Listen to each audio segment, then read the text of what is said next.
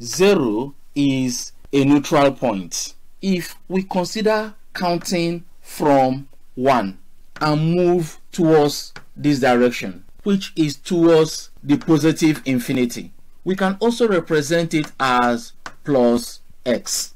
This arrow indicates that this continues to infinity.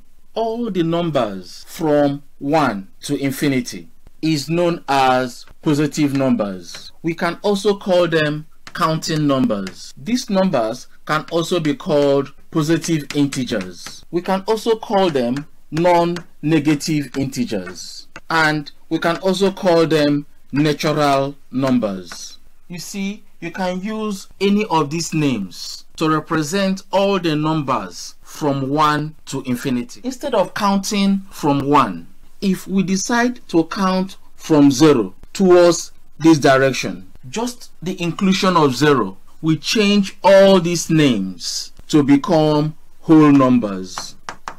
If we calibrate from minus 1 and move towards this direction, which is towards the negative infinity. We can also represent this as minus x. All the numbers from minus 1 towards the negative infinity are simply known as negative numbers or negative integers. Why do we call positive numbers, counting numbers, positive integers, non-negative integers, natural numbers? There was a time when people do not believe in nothing, void, or zero in counting. To them, how can you include zero in counting cows or counting goats, for example? Even kids naturally count from one. Zero was disputed because it wasn't natural counting objects from zero. Before teaching students integers use positive numbers or counting numbers or natural numbers. However, after teaching students integers, use positive integers or non-negative integers. In addition, before teaching students integers, use negative numbers. But after teaching students integers, use negative integers. The use of any of these names will be dependent on the age of the class you are teaching.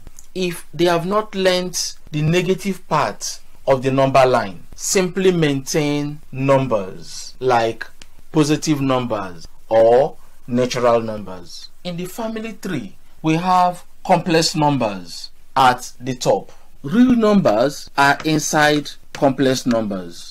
Real numbers is made up of two families. These are rational numbers and irrational numbers.